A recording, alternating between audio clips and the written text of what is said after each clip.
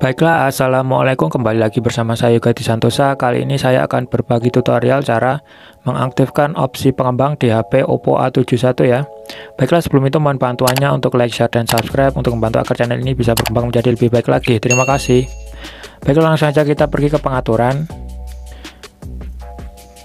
Nah, di sini ada menu ya, kita pilih pengaturan tambahan. Dan di sini ada opsi pengembang kemudian di sini kita suruh masukkan kata ini ya obg kosong atau apa ini. Kita uh, masukkan o b g o kemudian kita gunakan. Nah kemudian di sini ada uh, opsi pengembang kemudian kita aktifkan tombolnya. Nah seperti itu ya. Di sini ada banyak sekali kode password cadangan beranda. Kemudian ada buka om kunci om ya di sini setelah aktif fungsi perlindungan perangkat tidak lagi tersedia. Di sini uh, atau istilahnya UBL ya di HP Oppo A71. Kemudian uh,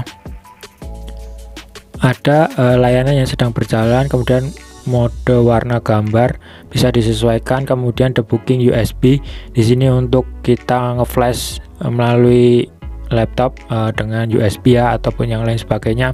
Dan di sini ada tampilkan sentuhan ya. Nah jadi kita uh, tampilan sentuhannya itu terlihat seperti lingkaran itu.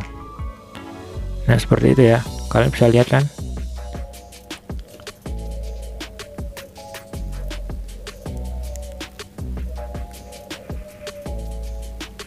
Terlalu cepat ya? Ya pokoknya intinya uh, untuk menampilkan sentuhan ya. Kemudian kita matikan kemudian di sini untuk skala animasi dan jendela bisa kita sesuaikan uh, agar apa bermain game bisa lebih cepat ya.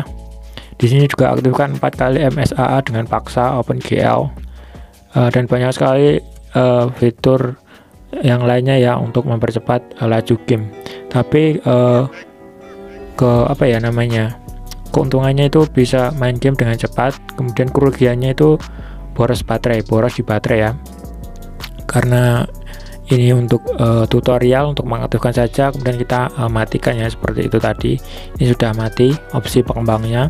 Jadi itu tadi adalah uh, tutorial cara uh, mengaktifkan uh, opsi pengembang di HP Oppo A71 baiklah jangan lupa tekan like dan share jika bermanfaat dan terima kasih. Wassalamualaikum warahmatullahi wabarakatuh